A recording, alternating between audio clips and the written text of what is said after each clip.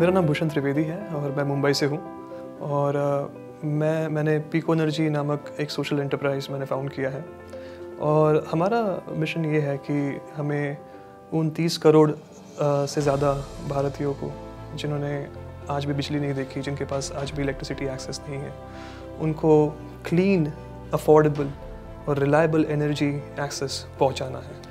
मैंने एक समस्या देखी थी कि जिन घरों में बिजली नहीं होती है, वो रात को अक्सर घासलेट या मोमबत्ती का यूज़ करते हैं फॉर लाइटिंग एंड ये काफ़ी प्रोहिबिटिव इन्वायरमेंट है अगर आप देखा जाए तो। इसमें बच्चे पढ़ाई नहीं कर सकते रात को। तो हमने एक प्रोडक्ट बनाया, जिसमें लाइटिंग और मोबाइल चार्जिंग दोनों की सुविधा मिले, और वो चार्ज होगा सोलर एनर्जी से।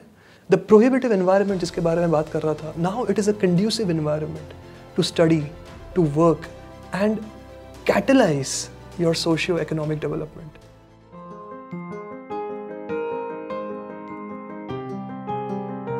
ये सीड फंड हमें काफ़ी सारे मायनों में हेल्प कर सकता है। बेसिकली हम हमारे मॉडल को आ, देश के बाकी हिस्सों में हम ले जा सकते हैं। And we still have such a huge chunk of people in our country and in the world who live without electricity.